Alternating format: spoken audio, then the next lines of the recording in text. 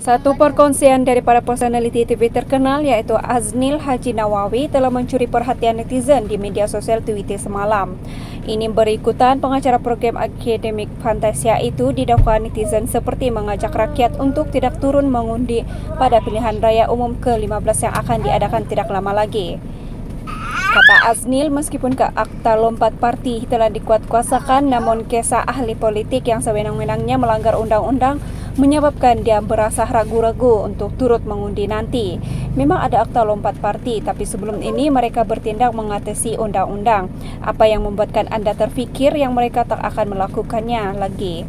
Setelah mereka berkuasa, kita jadi penonton sendiwara mereka saja, tiada apa yang baru menjangka ke ruangan komen rata-rata netizen tidak bersetuju dengan pendapat pengacara itu dan meminta agar dia lebih cakna dan prihatin dengan situasi politik negara pada ketika ini.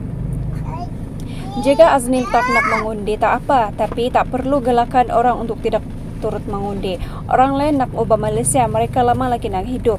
Pak Nil kalau betul nak Malaysia yang lebih baik, undi dan pilih yang betul. Jadi sebagai manusia yang ada akal dan layak mengundi, sila jangankan tanggungjawab.